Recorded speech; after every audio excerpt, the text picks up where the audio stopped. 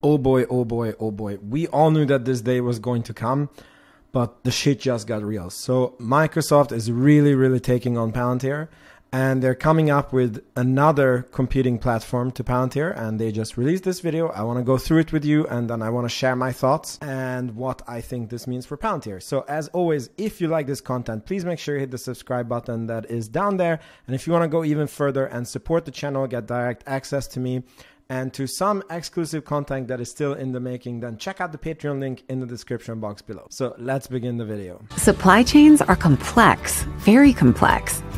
To stay agile, global organizations need end to end visibility without replacing existing systems, actionable insights from real time data, and seamless orchestration of business processes through one unifying platform.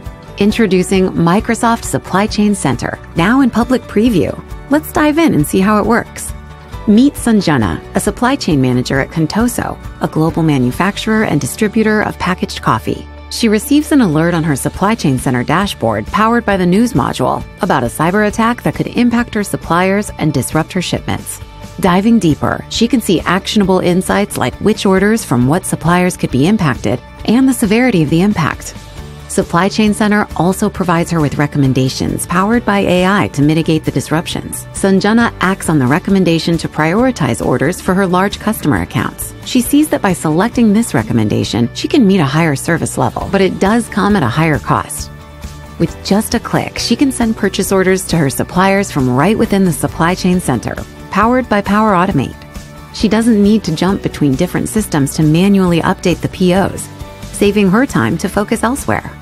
Sanjana receives updates of production plans from her suppliers periodically and securely via the supplier portal. The Supply Chain Center uses this and the other data points to provide insights into potential stockouts, overstocking, and many more metrics in near real time. Melanie, the Northwind Roasters account manager, a coffee bean supplier for Contoso, uses the supplier portal to upload her production plan. After receiving it, Sanjana notices a massive supply coverage gap on her supply and demand insights dashboard. So Sanjana quickly investigates in the supply coverage module dashboard. From right in the dashboard, Sanjana can reach out to Melanie via the embedded Microsoft Teams chat to see if she has additional inventory on hand to bridge the supply gap. Melanie confirms that she has available inventory in excess and can expedite an order for the SKU that's falling short. This ability to collaborate with external suppliers in near real time using Teams and in the context of the insights is a game changer for Sanjana and Melanie. They're twice as productive now without dealing with delayed email replies and missed voicemails. After Sanjana places her order with Melanie, she tracks the shipment via CH Robinson's Navisphere Vision right inside the supply chain center. Two days later, Sanjana sees an alert via Navisphere Vision that a Contoso truck transporting coffee from Northwind Roasters has been delayed due to a breakdown. This will cause a four day delay in the delivery to Contoso's warehouse. Because of the alert, she notifies the receiving warehouse of the delay and generates a new freight order from a different supplier. The new freight order is assigned to a carrier that can deliver on the originally requested delivery date, avoiding a potential major stockout. Once the shipment arrives, Sanjana uses the order management module to fulfill the order to her high priority accounts, like Fabrikam. Sanjana uses the out of the box connector to FedEx and sets up FedEx as a shipping carrier to deliver the order to her customers. Plus, she gains fulfillment insights so that she can continue to optimize the delivery to her customers efficiently, cost effectively, and sustainably. With Microsoft Supply Chain Center, Sanjana can take complete control of her supply chain and deliver a delightful customer experience. She can get end to end visibility of her supply chain, generate AI based recommendations, and orchestrate business processes to act on these recommendations seamlessly, all without having to replace her existing systems. Microsoft Supply Chain Center enables her to do more with less. Sign up for a free trial at aka.ms slash supply chain center. So I'm not gonna lie to you, as a Palantir investor, I gotta change my pants because they have a little bit of brown on them.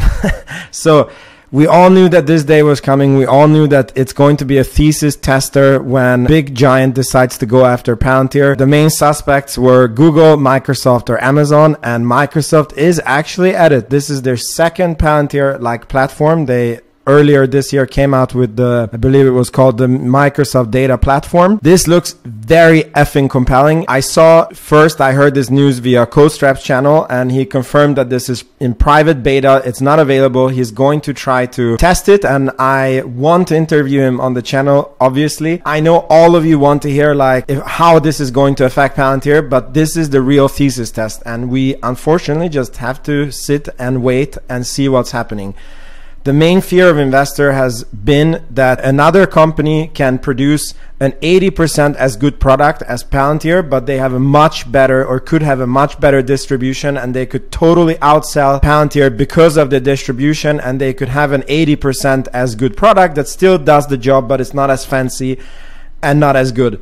And this is exactly what we see here that a company that has inferior products, nothing really that is a Microsoft product, really excites me, but there's so many people using them.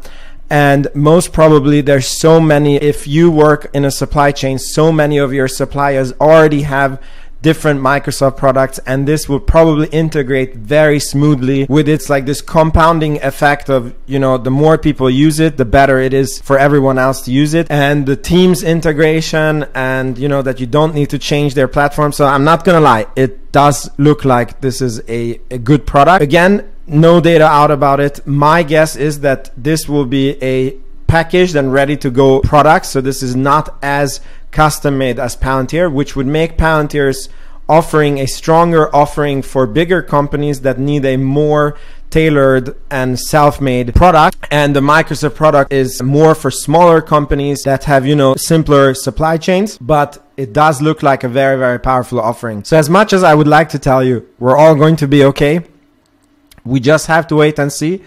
And ah, I don't know what's happening. And I gotta go and change my pants. So I'll see you in the next video. As soon as I can, I'll bring you more information about this.